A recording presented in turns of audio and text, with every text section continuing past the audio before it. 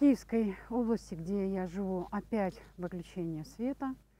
Нас уже словно дрессируют. Вот я сейчас стою вот напротив дома, какой один из самых-самых первых попал, попала ракета. Я уже говорила в одном из репортажей, репортажей этого дома, потому что он, э, ну, как для меня, очень-очень э, замечательный. Когда-то в свое время я э, имела свое риэлторское агентство, и здесь, в этом доме, жила одна из риэлторов, ну, как бы главных, она возглавляла, была главной в этом селе, где я живу. И поэтому, когда мы вышли на рынок со своей риэлторской компанией, она стала очень много палки в колеса нам вставлять. А, она считала здесь себя главной, она считала себя здесь единственной. И, конечно, конкурентов она не хотела терпеть.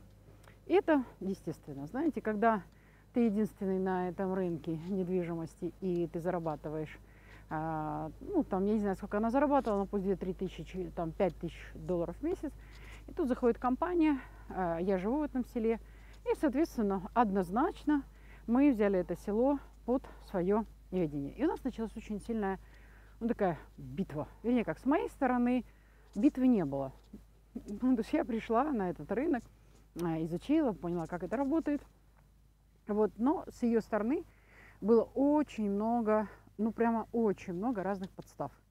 Вот, она и клиента плохие вещи о нас говорила, и, и ну, в общем, там такая война была в открытую, что называется.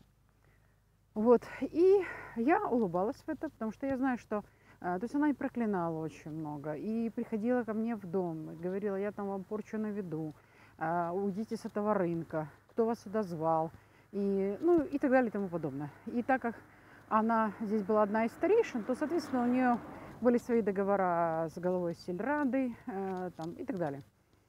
Я не об этом. И вот э, она достаточно много в нашу, э, так как я была директором этой э, агенции, агенции недвижимости, вот, и со мной работало еще шесть молодых ребят. И вот она посылала разные там проклятия, посылала разные в общем, достаточно много а, от нее было таких ну, нехороших моментов, которые нам приходилось лавировать между ними. Вот. И она каждый раз была удивлена, ну почему я ее не боюсь. Она мне все время говорила, ну, ну, ну, ну что такое, в чем дело? Она там куда-то ходила, какой-то бабки, заказывала порчу. И я всегда улыбалась и говорила, ты знаешь, мой Бог сильнее тебя.